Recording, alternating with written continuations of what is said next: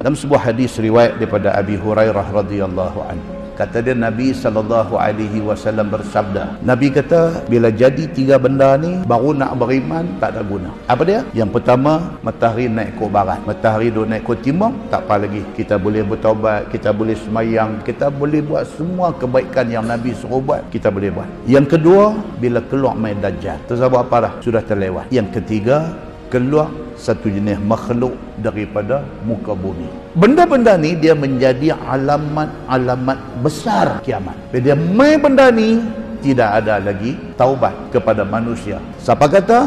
Nabi sallallahu alaihi wasallam kata di dalam hadis riwayat Muslim. Muslimin dan muslimat yang dirahmati Allah sekalian. Dan sebuah hadis lain dia kata taubat manusia diterima oleh Allah selagi mana nyawa tidak digararah pada ketika itu taubat sudah tidak diterima